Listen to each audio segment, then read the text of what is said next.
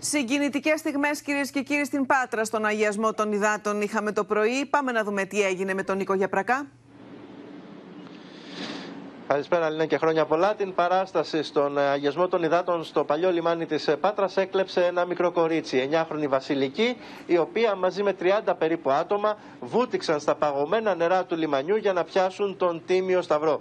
Ήταν η πρώτη φορά για την ε, μικρούλα η οποία ε, βούτυξε στα νερά του λιμανιού για να πιάσει τον τίμιο σταυρό, όπως μας είπε. Η ίδια άλλωστε είναι και κολυμβήτρια, ασχολείται με το ε, κολύμπι, το έβλεπε τα προηγούμενα χρόνια και ήθελε και η ίδια να συμμετάσχει.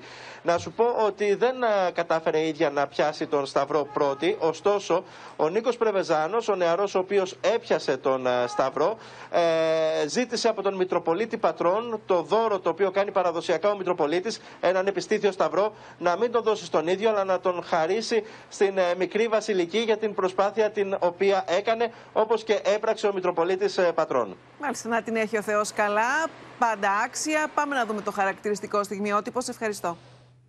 Είχαμε πει με όλα τα παιδιά να αφήσουμε την κοπέλα, απλά βουτήξαμε όλοι μαζί και έπρεπε να το βάλει το παιδάκι. Τι ήταν αυτό που σου έκανε να θες να βουτήξει το Σταυρό, Εντάξει, γιατί το είχα δει και έχω πάρει μια ιδέα, γι' αυτό ήθελα να το δοκιμάσω. Είναι η πρώτη φορά, ε; Ναι, Είχε κολυμβήτρια. ε, ναι.